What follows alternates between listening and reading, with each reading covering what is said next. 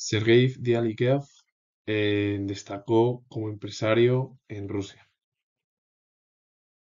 Sergei Diaghilev nació el 31 de marzo de 1872 en el distrito de Chudovsky, en Rusia, y murió el 19 de agosto de 1929 en Venecia, en Italia.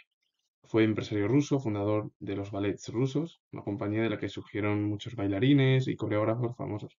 Una figura, eh, bueno, conocida, aunque más tarde se marchó a Italia, es decir, se marchó de, de Rusia. Y con ello finalizo. Lo último, comentar lo que tengo logrado historia. Si os ha gustado este vídeo, darle a like, suscribiros y comentar. Saludos. Adiós.